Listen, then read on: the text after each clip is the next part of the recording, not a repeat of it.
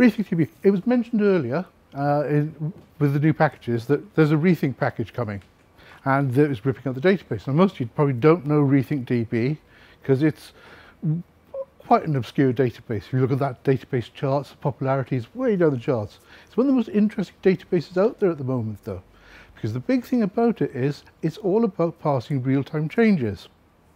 That means that when you actually set up a database table, instead of having to go to all the mess that Meteor has to do with Mongo, with oplogs and other things for tracking changes, all it has to do is say, I'd like to see the changes on this query on the database, and it gets sent a real-time feed of the changes to that query and the results of that query.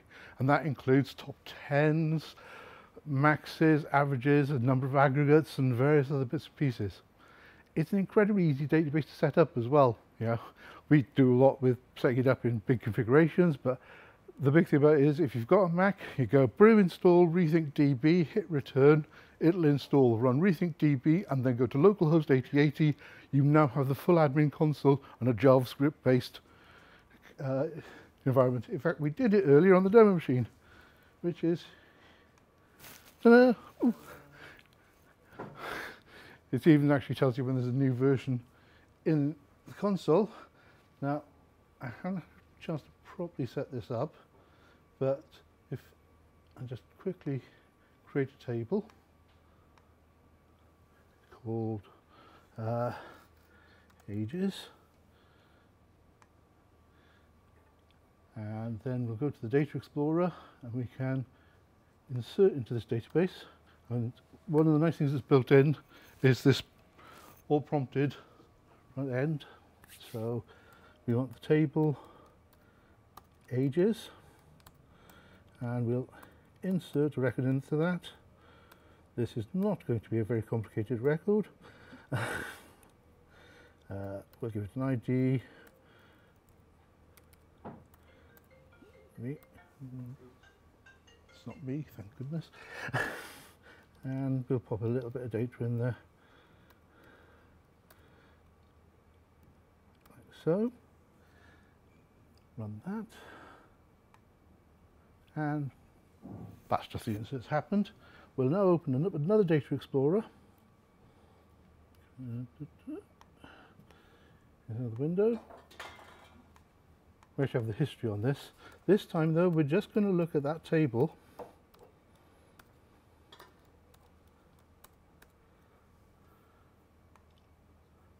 I'm going to get a table view of that.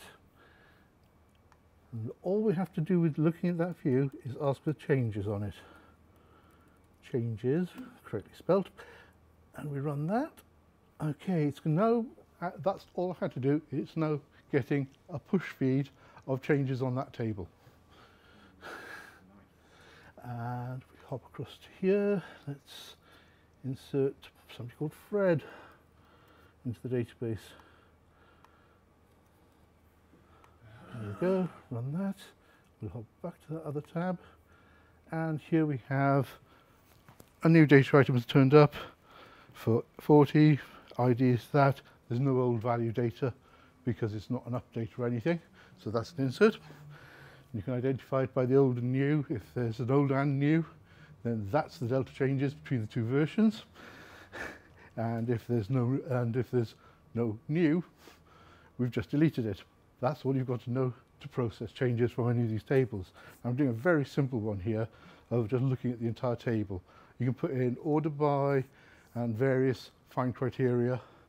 It's not complete for the, query, the scope of query so that you can actually do, which is one of the reasons why they, they're working away on that driver, because they actually have to work out which queries can do this and which can't, and get both of them running side by side.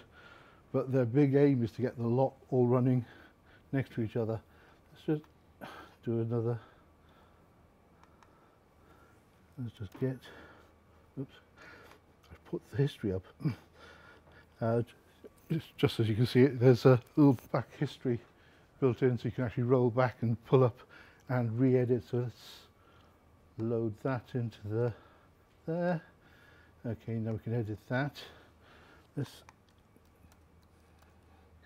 get Fred. and update age. Done. Get rid of this rubbish at the end and run that. That's one replace. And if we go across the other tab, now we can see there's the update that's just come in on that event stream.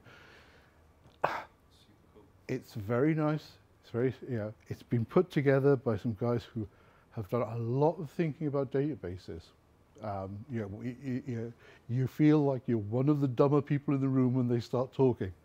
Yeah, they've gone and built a database inside uh, you know, for solid, solidity of data. They make sure that nothing, everything is immutable inside the database, which is quite hard given the technology they've chosen. But you've got this very rigid, very solid database. Really like it.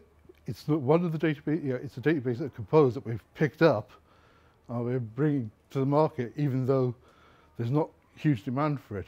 We suspect that once the Meteor drive is done and is working well, that a lot of Meteor folk are going to want it because quite honestly, the work you have to do with MongoDB when you get to that scale up bit where you want two servers and you have to have privileged users generating up stuff, it's hard work, you know. yeah, we've made it as as easy as you can get it with a couple of clicks and some URLs automatically generated for you. But this just does it across your database from day zero. It's very nice. There you go.